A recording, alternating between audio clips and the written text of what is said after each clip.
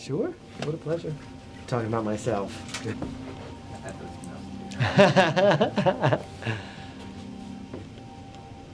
and weren't quite sure. Can you pause for one sec? Yeah.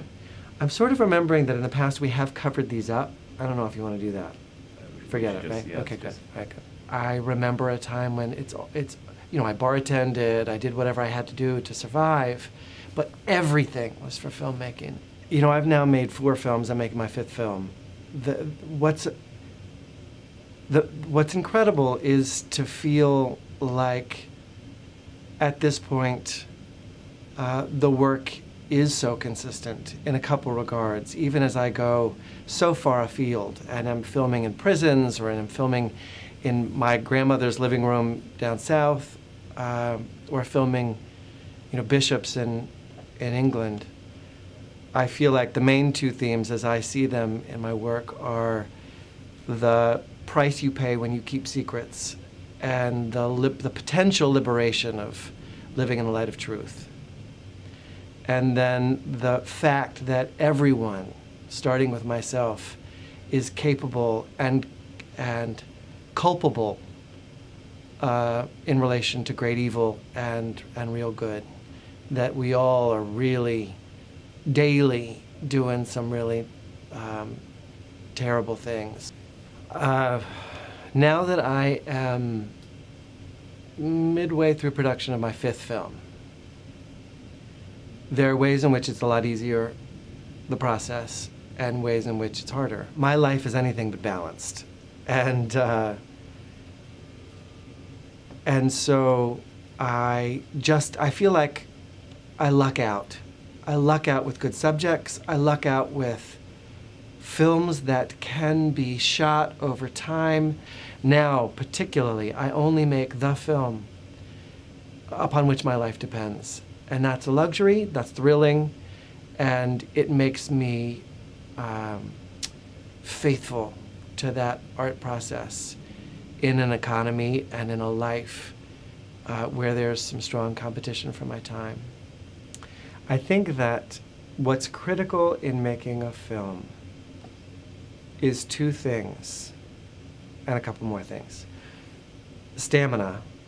You got to be able to hang on to this baby until it's done. And then it might not be done, and you got to hang on some more. And that's really hard. So if you are not really in this for the long haul, get out. Because it's not feasible financially, and it's not controllable, the nature of documentary film, as you would want to control it. It's going to go places you're not planning to go, and that's exciting, but it's also inconvenient.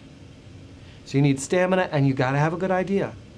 If you're going out there and saying, you know, I want to make a, a movie about toy trains, and you're pitching it, and everybody's looking at you with a blank look in their eyes, got to take that to heart. Now, you are, pro- well, no, sometimes you're right, and that toy train movie is going to blow off the roof of what we thought was smart movie making, and we see that.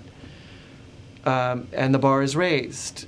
But if, if, if there's no audience for your film, if, if people aren't saying, oh, then you might just want to keep thinking about how you can spin it differently, how you can tell it differently. But stamina and a good idea. And then you've just got to really be humble. You've got to be strong, have the courage of your convictions, be a director. And, and when, when it's time for you to call the shot, call it.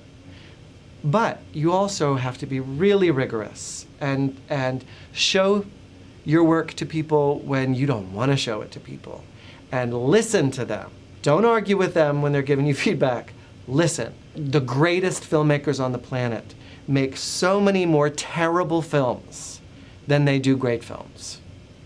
So if you are in this business and you can't deal with failure, really public failure, you also might want to think twice because if you don't have the courage to fail hugely, then you are going to you're going to um, censor yourself in ways that will keep you from making the art that is in you to make.